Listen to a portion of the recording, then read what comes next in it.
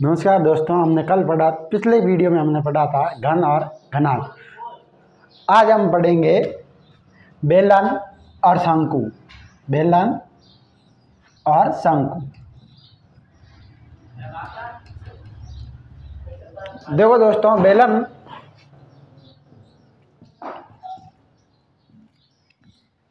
बेलन एक आयताकार आकृति से एक आयताकार आकृति को लेकर उसकी एक भुजा को हमने स्थिर रखा और बाकी भुजाओं को जब हमने घुमाया, जब उसको वर्ताकार आकृति में घुमाया तो हमारे पास बेलन प्राप्त हुआ। इस प्रकार की आकृति बेलन की होती है। आयत की एक भुजा जिसे हम आदि करेंगे तो उसका, उसकी रेडियस हमारे पास आ जाएगी। यानी बेलन बेलन का आधार, बेलन का आधार वर्ताकार हो जाएगा हमारे पास।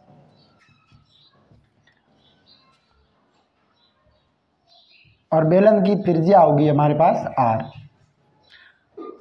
और ये जो साइड होगी अपनी, आयत की एक साइड वो ऊंचाई का काम करेगी। तो बेलन की ऊंचाई क्या हो जाएगी? एच बेलन की ऊंचाई ऊंचाई हमारे पास एच हो जाएगी। देखो दोस्तों, अब बेलन का पृष्ठीय क्षेत्रफल पृष्ठीय क्षेत्रफल दो प्रकार के ज्ञात कर सकते हो आप। एक इसका वक्र पृष्ठ होता है। बेलन का वक्र पृष्ठीय क्षेत्रफल ज्ञात करने का फॉर्मूला आप जानते हो। Two pi R H. Two pi R इसके आधार की परिधि हो जाएगी और ऊंचाई से गुणा करोगे तो वक्र पृष्ठीय क्षेत्रफल प्राप्त हो जाएगा। आगे देखो बेलन का संपूर्ण पृष्ठीय क्षेत्रफल। संपूर्ण पृष्ठीय क्षेत्रफल। इसमें क्या होता है? बेलन के दो आधार वर्ताकार होते हैं तो दो वर्तों का क्षेत्रफल टू पाई आर स्क्वायर और इसका वक्र पृष्ठ टू पाई आर एस को जोड़ेंगे हमारे पास संपूर्ण बेलन का आज क्षेत्रफल आ जाएगा। इन दोनों में से देखो, हमने दो और पाई आर कॉमन ले लिया। आर प्लस एच रह जाएगा पीछे। तो इसका वास्तविक फार्मूला क्या हो जाएगा? संपूर्ण पृष्ठीय क्षेत्रफल का टू पाई आर कोष्टक आर प्लस एस। यहाँ तक दोस्तों कोई प्रॉब्लम आपको?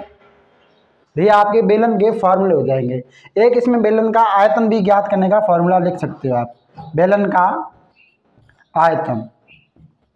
आप किसी भी ठोस आकृति का आयतन ज्ञात करते हो। मैंने आपको बताया था आधार का क्षेत्रफल।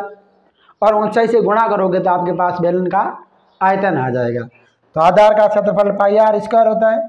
और इसके साथ एस ऊंचाई का गुणा करोगे तो आपके पास बेलन का आयतन आ जाएगा।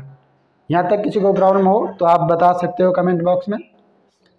आगे देखो, हम बेलन के सूत्रों के आधार पर कुछ सवाल करेंगे।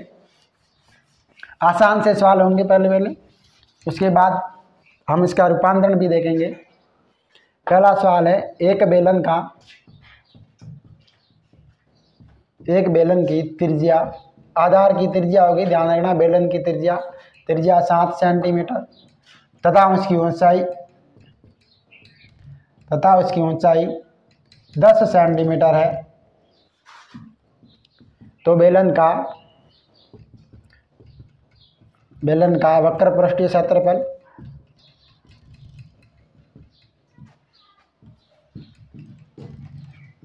तथा आयतन ज्ञात करो।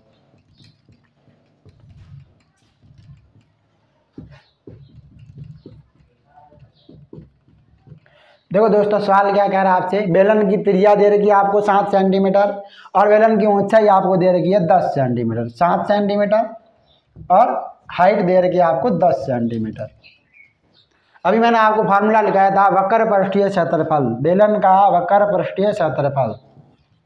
बेलन का वक्र पृष्ठीय क्षेत्रफल।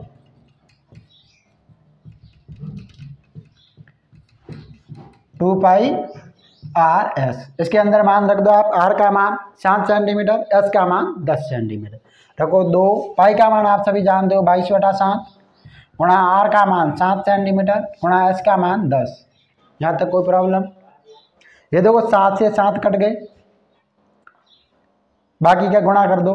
बाईस दुना चवालीस, गुणा दस. चवालीस का गुणा आप दस से करोगे तो आपके पास चार सौ चालीस सेंटीमीटर स्क्वायर आपके पास बेलन का वक्र पृष्ठीय क्षेत्रफल आ जाएगा।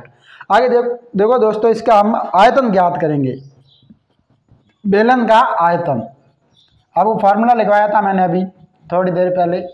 पाई आर स्क्वायर एच मान रख दो, पाई का मान बाईस बटा सात, आर का मान आर स्क्वायर सात गुणा सात, और एस का मान दस। देखो दोस्तों, यहाँ भी सात से सात कर रहे हैं, और बाईस सात आए एक सौ चौपन। हाँ आगे देखो, हम आयतन ज्ञात करेंगे दोस्तों। वक्र पक्षी क्षेत्रफल चार सौ चालीस सेंटीमीटर स्क्वायर आ गया आपके पास। अब आयतन ज्ञात करने के लिए देखो, हम वापस देखते हैं। बेलन का आयतन वही सवाल है। आयतन ज्ञात करना है आपको। बेलन का आयतन का फॉर्मूला हमने लिखा था अभी। बेलन का आयतन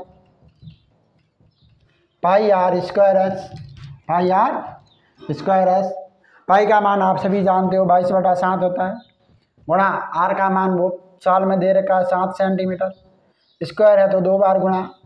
और एच आपकी ऊंचाई है, दस सेंटीमीटर आपको साल में लिखी हुई है। अब देखो इसमें सात से सात कट रहा है। बाईस सात आ एक सौ चौपन होते हैं। इसमें कैलकुलेशन आपको ध्यान रखनी पड़ेगी। क्योंकि ये फॉर्मूले बैक सवाल है सारे इसके। फॉर्मूले याद है, उसके बाद कैलकुलेशन आपको आनी चाहिए। गुणा दस। एक सौ चौपन का दस से गुणा करोगे तो पंद्रह सौ घन सेंटीमीटर आपका आयतन आ जाएगा। हाँ दोस्तों, बेलन का आयतन आपके पास पंद्रह सौ चालीस घन सेंटीमीटर क्यूब आ गया।